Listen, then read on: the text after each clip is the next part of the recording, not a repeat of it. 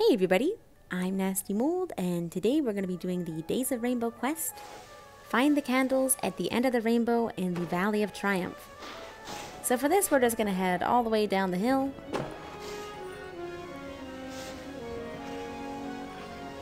With speed.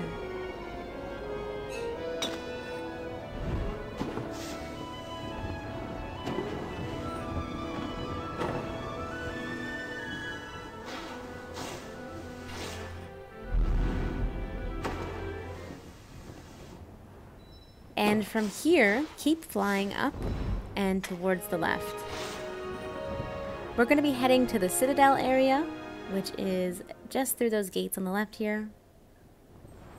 It's where the flying race is. If you just keep flying up, though, you can go over the barrier. It's a nice little shortcut. Whee! And recharge in the clouds.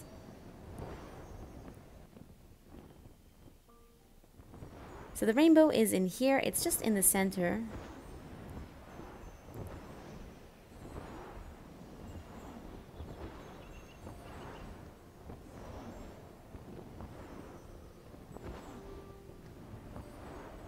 Ta-da!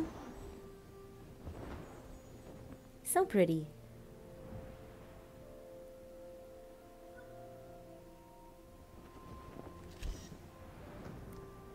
And the candles are just at the right hand end of the rainbow. Right here. Ta-da! All done. All right. Uh, oh. I'm trying to emote, but the platform keeps moving. Thanks so much for watching, you guys. I hope you enjoyed, and I'll see you in the next video. Bye-bye.